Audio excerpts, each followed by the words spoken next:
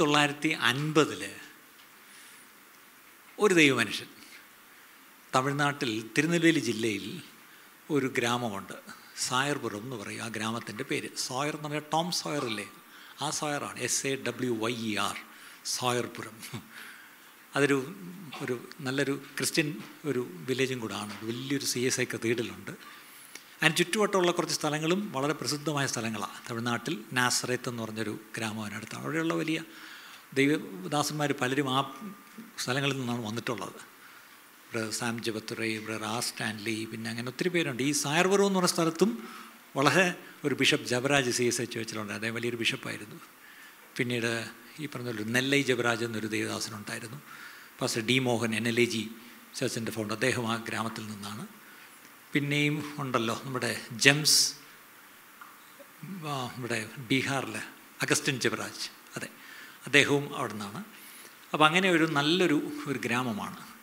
അവിടെ ആദ്യകാലത്തുണ്ടായിരുന്ന ഒരു പെന്തക്കോസ്ത് സഭയെന്ന് പറഞ്ഞത് സിലോൺ പെന്തക്കോസ്ത് മിഷനാണ്. ആ പെന്തക്കോസ്ത് സഭയിൽ പാസ്റ്ററായിട്ട് ട്രാൻസ്ഫറായിട്ട് മലയാളിയായ ഒരു പാസ്റ്റർ അവിടെ ചെന്നു. അദ്ദേഹം നല്ല ചെറുപ്പകാലത്താണ്. അദ്ദേഹം തമിഴ്നാട്ടിലെ ചൂട് അറിയാവുന്നവർക്കറിയാം. നല്ല ചൂടാണ്.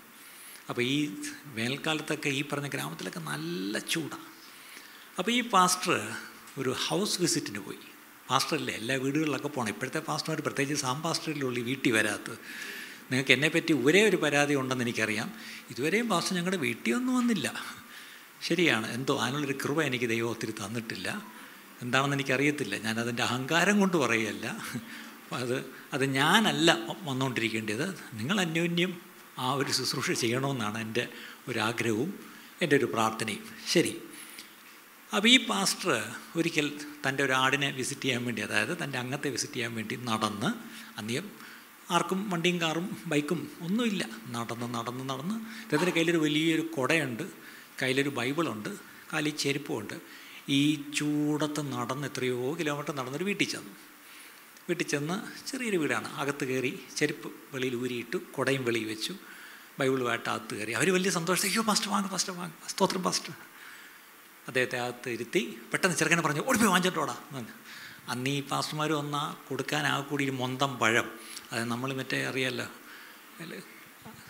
പച്ചക്കറിക്ക് അരിഞ്ഞിടുന്ന മറ്റേ പേങ്ക എന്ന് പറയും തിരുവനന്തപുരത്ത്. അതിന്റെ പഴുത്ത സാധനം. നമ്മളതിന്റെ പഴുത്ത സാധനം വല്ല അഥവാ പച്ചക്കറിക്ക് മേടിച്ചത് പഴുത്ത് പോയിലെടുത്ത് കളയും. പക്ഷേ തമിഴ്നാട്ടിൽ ഏറ്റവും കൂടുതലുള്ള പഴം അതാണ്. അപ്പോൾ അതിലൊരു പഴവും പിന്നെ കളർ സോഡ ഒരു ചായങ്കലയ്ക്ക് വെള്ളം. അതും മേടിച്ച് അപ്പം പാസ്റ്റർക്ക് അത് ഈ കുടി കുടിക്കാനൊരു കളറും പിന്നെന്താണ്? ഒരു പഴവും. ഇത് മേടിച്ച് കൊടുത്തു. പാസ്റ്റർ സ്തോത്രം പറഞ്ഞ് ആ പഴവും തിന്നു. സോഡയും കുടിച്ചു. അവിടുന്ന് പ്രാർത്ഥിച്ച് സന്തോഷമായിട്ട് ഇറങ്ങി. ഇറങ്ങി വെളിയിലോട്ട് വന്ന് നോക്കിയപ്പം ചെരുപ്പ് കാണാനില്ല കുടയും പോയി. അയ്യോ വീട്ടുകാർക്ക് സങ്കടമാണ് വല്ല പട്ടി എടുത്തുകൊണ്ട് പോയെങ്കിൽ മനസ്സിലാവും. പട്ടിയല്ല. ആരോ ഒട്ടിച്ചുകൊണ്ട് പോയി. കുറേ നേരമായിട്ട് പാസ്റ്റർ വീട്ടിനകത്തിരിക്കുകയല്ലേ ഇത് പറഞ്ഞ സാരമില്ല കുഴപ്പമില്ല. അയ്യോ പാസ്റ്റർ എങ്ങനെ പോകും? കാലി ചെരുപ്പില്ല. അയ്യോ കുടയില്ല. ഇവിടെ തന്നുവിടാനൊരു കുടയില്ല. സാരമില്ല. നമ്മൾ അദ്ദേഹം ചിരിച്ചുകൊണ്ട് ബൈബിൾ കൊടുത്ത് ഇറങ്ങി. കാലം കൊട്ട് മണലിലോട്ട് വെച്ചപ്പോൾ നല്ല ചുട്ട് പൊള്ളുന്ന ചൂട്. കാൽ വെന്തു പോകുന്നു നല്ല സൂര്യൻ നേരെ തലയ്ക്ക് മുകളിൽ അടിച്ച് താനങ്ങോട്ടും വേർത്ത് നടന്ന് നടന്ന് നടന്ന് നടന്ന് നല്ല നട്ടു ഉച്ചയ്ക്കാണ് ഈ നടക്കുന്നത്. നടന്ന് നടന്ന് നടന്ന് നടന്ന് പോകുമ്പം പുള്ളിയുടെ ഉള്ളിൽ ഒരു ചിന്ത കർത്താവേ ഞാൻ കർത്താവിന്റെ വേലയ്ക്ക് വേണ്ടി എല്ലാം വിട്ട് ഈ അന്യദേശത്ത് വന്ന് ചെയ്യുമ്പോൾ ആ കൂടി ഉണ്ടായിരുന്ന ഒരു കുട ആ കൂടി ഉണ്ടായിരുന്ന ഒരു ജോഡി ചെരുപ്പ്. ഇനിയിപ്പം ചെരുപ്പ് വാങ്ങിക്കണമെങ്കിലും ടൗണിൽ പോകണം അതിനുള്ള പൈസയില്ല ഈ ചെരുപ്പ് മോട്ടിച്ചുകൊണ്ട് പോകാൻ ആ കുട മോട്ടിച്ചുകൊണ്ട് പോകാൻ ദൈവം എന്നെ എന്തിനനുവദിച്ചു? എന്നൊരു ചെറിയ പരിഭവം ദൈവത്തോട് പറയാതിരുന്നില്ല. ഇങ്ങനെ പരിഭവമൊക്കെ പറഞ്ഞ് നടന്ന് നടന്ന് നടന്ന് നടന്ന് ചെന്നപ്പോൾ പെട്ടെന്ന് തന്റെ ഉള്ളിലൊരു ഒരു ഒരു ചിന്ത ഇങ്ങനെ വന്നു. അപ്പോൾ ഇദ്ദേഹം നല്ല വെളുത്തൊരു മനുഷ്യനാണ് ഈ വെയിലെല്ലാം കൂടെ കൊണ്ടങ്ങ് ചെല്ല് അങ്ങ് എത്താറായപ്പോഴത്തേക്കും കറുത്തു. അപ്പോൾ പെട്ടെന്ന് ദൈവം ഞാൻ നമ്മുടെ കറുത്ത് കരുവാളിച്ചു വെയിൽ കൊണ്ട്. ഇനിയിപ്പോൾ കുടയില്ല അടുത്തൊരു കുട എന്ന് മേടിക്കാൻ പറ്റും. അങ്ങനെയൊക്കെ പറഞ്ഞ് നടന്നു പോയപ്പം തന്റെ ഉള്ളിൽ ഉത്തമഗീതത്തിലെ ഒരു ഭാഗം ഓർമ്മ വന്നു. ഘോര വെയിലിൽ കരിഞ്ഞ് നിന്റെ മൃദുവൈ കറുത്തിരുണ്ടിരുന്നാലും പ്രിയൻ പ്രാണപ്രിയൻ കാണുന്നുണ്ട് അതിസൗന്ദര്യം. നീ സ്ത്രീകളിൽ അതിസുന്ദരി. അങ്ങനൊരു ഭാവം ഉത്തമവിധത്തിൽ അറിയാമോ? അങ്ങനൊരു ഭാവമുണ്ട്. നീ ഇപ്പം ഈ വെയിലൊക്കെ അടിച്ച് നീ ഇങ്ങനെ കറുത്ത് കരുവാളിച്ചിരിക്കുന്നെങ്കിലും നിന്റെ പ്രിയൻ നിന്നെ കാണുമ്പം നീ സ്ത്രീകളിൽ അതിസുന്ദരി. കറുത്തവർക്കെല്ലാം സന്തോഷമായില്ലല്ലേ? അല്ലേ? ഒരു പക്ഷേ ഞാൻ കറുത്തിരിക്കുകയാണെന്ന് ആരെങ്കിലും വിഷമിച്ചിരിക്കുന്നെങ്കിൽ നിങ്ങളെപ്പറ്റി കർത്താവ് പറയുന്നു നീ സുന്ദരിയാണ് സുന്ദരനാണ് എന്ന് നമ്മളെ നോക്കി പറയുക. അപ്പോൾ പെട്ടെന്ന് ഈ ഒരു ചിന്ത വന്നപ്പോഴത്തേ ആ ഭാഗം ഇങ്ങനെ ചിന്തിച്ച് ധ്യാനിച്ച് ദൈവത്തെ സ്തുതിച്ചുകൊണ്ട് താനങ്ങ് എത്തി. അവിടെ ചെന്നതെല്ലാം മാറി ഇട്ടെന്നു. വീശി വെള്ളം വെച്ച് ഇച്ചിരി വെള്ളം എടുത്ത് കുളിക്കാമെന്ന് വെച്ചാൽ വെള്ളവും കുറവാണ് എന്തായാലും അന്ന് വൈകുന്നേരം താൻ പ്രാർത്ഥനയോടെ ഇരുന്ന് വേദപുസ്തകമായിട്ട് ഇരുന്നപ്പോഴാണ് തന്റെ ഉള്ളിൽ ഈ ചരണങ്ങൾ ഇങ്ങനെ വന്ന് ഘോരവെയിലിൽ കരിഞ്ഞു നിൻ മൃദുമൈ. ഉത്തമഗീതം അതെ ആ വാക്യം ഏതായിരുന്നു? അന്ന് അറിയാത്തവർക്ക് വേണ്ടി പറയുകയാണ് ഞാനിപ്പം പറഞ്ഞ വാക്യം ഉത്തമഗീതം ഒന്നാം അധ്യായം അഞ്ചാം വാക്യം. എരിശിലെയും പുത്രിമാരെ ഞാൻ കറുത്തവളെങ്കിലും കേദാരി കൂടാരങ്ങളെപ്പോലെയും ശലോമോന്റെ തിരശ്ശേരികളെപ്പോലെയും അഴകുള്ളവളാകുന്നു. അല്ലേ? ഇതുവല്ലം കൊള്ളാം. അത് പേനയെടുത്ത് ദൈവാത്മാവ് കൊടുത്ത ആ വരികൾ അങ്ങോട്ട് കുറിക്കാൻ തുടങ്ങി. അപ്പം ഒടുവിൽ അതെല്ലാം കുറിച്ചു വന്ന് ഒടുവിൽ എന്റെ എന്റെ എന്റെ പല്ലവി ഇങ്ങനെയാണ് വന്നത്. ഉണരുക വിരവിൽ സിയോൻ സുതയെ ധരിച്ചുകൊള്ളുക അമിതബലം മരുഭൂമിൽ യാത്രയിൽ ഉറങ്ങുകയോ പടിവാതിലിൽ തളരുകയോ. നീ ഒരു യാത്രയിലാണ് അല്ലേ? നീ ഇങ്ങനെ ഉറങ്ങിയും തൂങ്ങിയൊന്നും യാത്ര ചെയ്യാൻ പറ്റത്തില്ല. ദേ പടിവാതിലെത്തി. ഇനി അടുത്ത പടി വെച്ചാൽ അകത്ത് എത്തും. അല്ലേ? അപ്പം ഇത്രയും ഒരു യാത്ര നീ ചെയ്തു വന്നെങ്കിൽ ആ പടിവാതിൽ വന്നിട്ട് നീ ഇനി ഉറങ്ങരുത് നീ ഇനി തളരരുത് നീ ക്ഷീണിക്കരുത് എന്നാണ് ആ പാട്ടിലൂടെ അതിന്റെ വരികൾ വളരെ നല്ല വരികളാണ്. എന്റെ വരികൾ നമ്മൾ വായിച്ചാൽ അറിയാം. ഇത് ഞാൻ പറഞ്ഞു ഘോരവെയിലിൽ കരിഞ്ഞു നിന്മ ലോകത്തിൻ താങ്ങുകൾ നീങ്ങുകിൽ അതിൽ നീ ഖേദിക്ക വേണ്ട തെല്ലും. ലോകത്തിൽ നമ്മളെ പലരും താങ്ങും. ഈ താങ്ങുമെന്നൊക്കെ അന്ന് എഴുതിയപ്പോൾ അന്ന് ഒറിജിനൽ അർത്ഥമാണ്. താങ്ങുമെന്ന് പറഞ്ഞാൽ ഒന്ന് പക്ഷേ ഇപ്പം മലയാളത്തിൽ എല്ലാത്തിനും ദ്വയാർത്ഥമുണ്ട്. ഇപ്പം താ അവനിട്ട് എനിക്കൊരു താങ്ങ് താങ്ങി. ആ താങ്ങല്ല കേട്ടോ. ലോകത്തിൻ താങ്ങുകൾ ലോകത്തിൽ പലപ്പോഴും നമ്മൾ പല താങ്ങുകൾ അതിൽ നമ്മൾ ആശ്രയം വയ്ക്കും. പക്ഷേ ഈ താങ്ങുകൾ എന്ത് ചെയ്യും? അങ്ങ് നീങ്ങിപ്പോവും. പക്ഷെ അതിൽ നീ ഖേദിക്കണ്ട ഒട്ടും തെല്ലും ഖേദിക്കണ്ട. കാര്യം മരുഭൂവിൽ ചാരുവാൻ. നിന്നെ താങ്ങുകയില്ല. നിനക്ക് പോയി ചാരാനൊരു മാർവിടമുണ്ട്. ആരാത് നിന്റെ പ്രിയതമനിൻ മാർവിടമുണ്ടല്ലോ. അല്ലേ? നമ്മുടെ കർത്താവിൽ വേണം ചാരാൻ. അല്ലാത്ത താങ്ങുകളൊക്കെ എന്തു ചെയ്യും? അതങ്ങ് മാറിപ്പോവും. അല്ലേ? അടുത്തത് തീരും നിൻ ക്ലേശം. നിന്റെ ക്ലേശമെല്ലാം തീരും. നിന്റെ ദുഃഖമെല്ലാം മാറും. അടുത്തത് നിന്റെ കണ്ണീരെല്ലാം ആര്? പൊൻകരത്താൽ തഴുവിടും ഭൂവതിൽ തളർന്ന നിന്റെ ആ മൃദുവായ ദേഹത്തെ തഴുകുന്ന ഒരു പ്രിയനുണ്ട്. ഇത് ഈ വാക്യങ്ങളൊക്കെ ഉത്തമഗീതത്തിലുള്ളതാണ്. ചിലർക്കെങ്കിലും ആ പുസ്തകം ഒരു ഇച്ചിച്ചി പുസ്തകം അതുകൊണ്ട് വായിക്കാറില്ല. കാര്യം ഉത്തമഗീതം എന്ന് പറഞ്ഞാൽ അയ്യേ. പക്ഷേ അതിനകത്ത് വളരെ മനോഹരമായ ചില കാര്യങ്ങളുണ്ടെന്നുള്ള കാര്യം മറക്കരുത്. ഓക്കെ അടുത്തത്. ലോകത്തിൽ നിന്നിത ഇന്ന് നീ ലോകത്തിൽ നിന്നിതയാണ് എല്ലാവരും നിന്നെ നിന്ദിക്കുന്നു. പക്ഷേ നീ ഒരു നാൾ ശോഭിക്കും വന്നിതിയായി എല്ലാവരും നിന്നെ വന്നിക്കുന്ന അവസ്ഥയിലേക്ക് നീ ഉയർത്തപ്പെടും. ഇന്ന് ആരെങ്കിലും നിന്ദിക്കപ്പെടുന്നെങ്കിൽ ഓർത്തോണം ഒരു ദിവസം വരും. എന്നെ വന്നിക്കുന്ന ദൂതന്മാർ പോലും നമുക്ക് സേവകാത്മാക്കളായി ദൈവം അവിടെ ആക്കിയിരിക്കുന്നത്. അതിന്റെ അർത്ഥം അത്രയ്ക്ക് ഓണർ അല്ലേ ദൈവം നമുക്ക് തരും. പിന്നെ ഒരു പ്രശ്നം ഇന്ന് ഒത്തിരി പേര് ഈ ഭൂമിയിൽ വെച്ച് നമ്മൾ നിന്ദിക്കപ്പെടുമ്പം ഈ മാനം ലോകത്തിൽ വെച്ച് തന്നെ കിട്ടണമെന്ന് അങ്ങ് ഒത്തിരി പേര് ശടിക്കും അങ്ങനെ ചടിക്കരുത്. ബൈബിൾ അത് ഗ്യാരണ്ടി ചെയ്യുന്നില്ല. ഇന്നിപ്പോൾ ഒത്തിരി പ്രവചനങ്ങളൊക്കെ ഞാൻ ഒത്തിരി അടുത്തൊക്കെ കേൾക്കുന്നു ഓരോരുത്തരൊക്കെ പറയുന്നു നിന്നെ മാനിക്കുന്ന ദൈവം. ഓ നിന്നെ നിന്നെ നിന്റെ എല്ലാവരും വന്ന് നിന്നെ നിന്നെ വന്ന് വണങ്ങും നിന്നെ വന്ന് അങ്ങനെയൊന്നും ബൈബിളിൽ പറഞ്ഞിട്ടില്ല. ഈ ഭൂമി വെച്ചെല്ലാം നമുക്ക് തിരിച്ചു കിട്ടത്തില്ല. നമുക്ക് മാനം കിട്ടുന്ന ഒരു നാളുണ്ട്. നല്ലവനും വിശ്വസ്തനുമായ ദാസനെ ദാസിയെ എന്ന് വിളിച്ച് പ്രതിഫലങ്ങൾ തരുന്ന കിരീടങ്ങൾ തരുന്ന ഒരു നാളുണ്ട്. അത് ഭൂമിയിലല്ല അത് സ്വർഗത്തിൽ നമ്മൾ ചെല്ലുമ്പോൾ. അതുകൊണ്ട് ഞാൻ ഈ കൂട്ടത്തിൽ അങ്ങ് പറഞ്ഞു വിട്ടെന്നില്ല. അപ്പം ഇന്ന് ലോകത്തിൽ നീ നിന്നതയാണെങ്കിൽ നീ ഒരു നാൾ ശോഭിക്കും വന്നതയായി. ബഹു തേജോപൂർണയായി. ഓ ആ രാജകുമാരന്റെ പട്ടമഹിഷിയായി. അത് പദം തെറ്റാണ്. ഈ മഹർഷിയൊന്നുമല്ല ഇത് മഹാഭാരതമൊന്നുമല്ല കേട്ടോ. ഓക്കെ ഇത് ഈ ഇതാണ് വലിയ പ്രശ്നം. നമ്മൾ ഈ ശരിക്കുള്ള ഒറിജിനൽ ട്യൂണെന്നും പറഞ്ഞ് പാടുമ്പം അതിന്റെ ലിറിക്സും കൂടെ ഒറിജിനൽ ആയിരിക്കണം പക്ഷേ ഈ അടിച്ചു വരുന്നതും ഇതിലൊക്കെ പബ്ലിഷ് ചെയ്തിരിക്കുന്നതൊക്കെ ഒത്തിരി തെറ്റാണ്. ശരി അടുത്തത്. ഉണരുക സഹജേ ഉയർത്തുക ശിരസേ. ഉണര് തല ഉയർത്ത് അടുത്തു എന്ത്? നിന്റെ വീണ്ടെടുപ്പിന്റെ നാളും അടുത്തു. അടുത്തത് രാജാതി രാജന് രാജ്ഞി നീയാവാൻ ചില നിമിഷം ആ പ്രാണപ്രിയനെ വേളിയടിക്കുന്ന അല്ലെങ്കിൽ ആ പ്രാണപ്രിയൻ നമ്മളെ വേളിയടിക്കുന്ന മണവാട്ടിയെ വേളിയടിക്കുന്ന ആ നാളിനി നിമിഷങ്ങളും കൂടെ ഉള്ളൂ. പടിവാതിലെത്തി. അതുകൊണ്ട് ഇനി ഉറങ്ങിയിരിക്കരുത്. ഇനി ക്ഷീണിച്ചിരിക്കരുത്. നിന്നതയാണെന്നും പറഞ്ഞ് ഇങ്ങനെ പ്രായിക്കൊണ്ടിരിക്കരുത്. എഴുന്നേറ്റ് തല ഉയർത്തി മുന്നോട്ട് പോകും എന്ന് ധൈര്യപ്പെടുത്തുന്ന ഒരു വരികളാണ്. ഇതിന്റെ പല്ലവി ഇങ്ങനെയാണ്. ഉണരുക വിരവിൽ സിയോൻ സുതയെ ധരിച്ചുകൊള്ളുക മരുഭൂവിൽ യാത്രയിൽ ഉറങ്ങുകയോ പടിവാതിലിൽ തളരുകയോ. ഈ പാട്ട് എത്ര പേര് കേട്ടിട്ടുണ്ട്? കേട്ടിട്ടില്ല എനിക്കറിയാം. ഈ ചർച്ചിലുള്ളവരോ അല്ലെങ്കിൽ അല്ലാത്ത കുറച്ച് പേര് കേട്ടിട്ടുണ്ട്. ഒരു അഞ്ച് പേര് പോലും കേട്ടിട്ടില്ല എന്നുള്ളതാണ് സത്യം. ഓക്കെ ഇതും എഴുതിയത് എന്റെ പിതാവാണ്.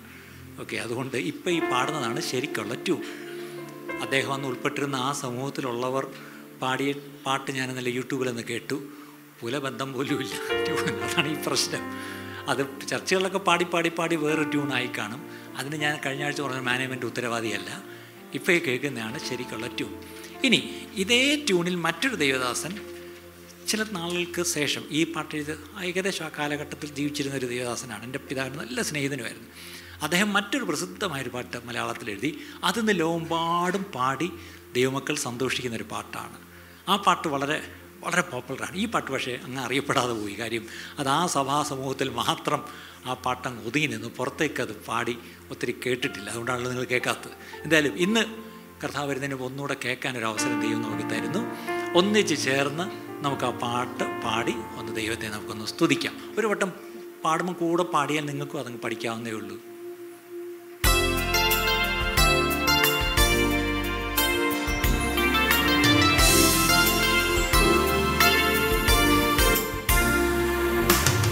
ഉണരുക വിരവിൽ സിയോൻ സുതയെ ധരിച്ചുകൊള്ളുക മിതബലം ഉണരുക വിരവിൽ സിയോൻ സുതയെ ധരിച്ചുകൊള്ളുക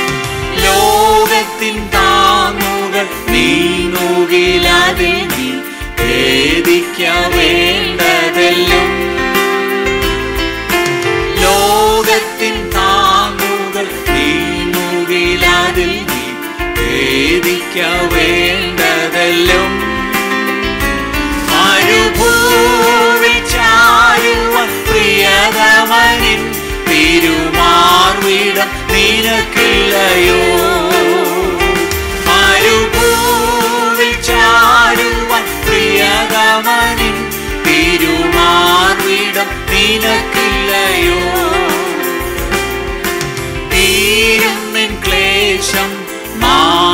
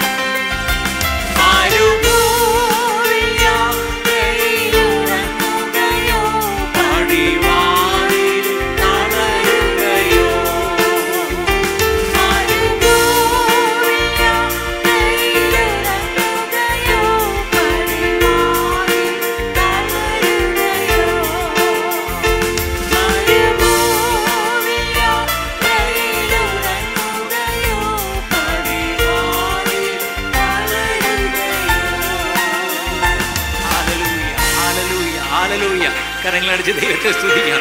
കരങ്ങളടിച്ച് ദൈവത്തെ സ്തുതിക്കാം. നമ്മുടെ കർത്താൻ വരുവാൻ കാലമാണ്. നമ്മുടെ കർത്താവിന്റെ വരവ് ഏറ്റവും അടുത്തെത്തിയിരിക്കുന്നു. അങ്ങനെയെങ്കിൽ എല്ലാ ഉറക്കവും മയക്കവും ക്ഷീണവും മടുപ്പും എല്ലാം ഒന്ന് മാറ്റി നമുക്ക് എഴുന്നേറ്റ് കർത്താവിന്റെ വേല ചെയ്യാം. കർത്താവിന്റെ വരുവിനായി നമുക്ക് നോക്കി പാർത്ത് ഒരുങ്ങി നമുക്കിരിക്കാം. ദൈവം നമ്മളെ എല്ലാവരെയും അതിനായിട്ട് സഹായിക്കട്ടെ. ആമേൻ. ഇന്ന് കേട്ട ഈ സന്ദേശം തീർച്ചയായിട്ടും നിങ്ങൾക്ക് അനുഗ്രഹമായിരുന്നു ഞങ്ങൾ വിശ്വസിക്കുന്നു. ഒരുപക്ഷെ നിങ്ങൾ ഇതുവരെയും ഈ ചാനൽ സബ്സ്ക്രൈബ് ചെയ്തിട്ടില്ലെങ്കിൽ ദയവായി ഇപ്പം തന്നെ ഒന്ന് സബ്സ്ക്രൈബ് ചെയ്യുക. ഈ സന്ദേശം മറ്റു ചിലർ കൂടി ഒന്ന് ഫോർവേഡ് ചെയ്ത് കൊടുക്കുക. നിങ്ങൾക്ക് ഇത് അനുഗ്രഹമായിരുന്നെങ്കിൽ തീർച്ചയായിട്ടും അത് മറ്റുള്ളവർക്കും ഒരു അനുഗ്രഹമായി തീരുവാൻ അത് കാരണമായി തീരും. God bless you.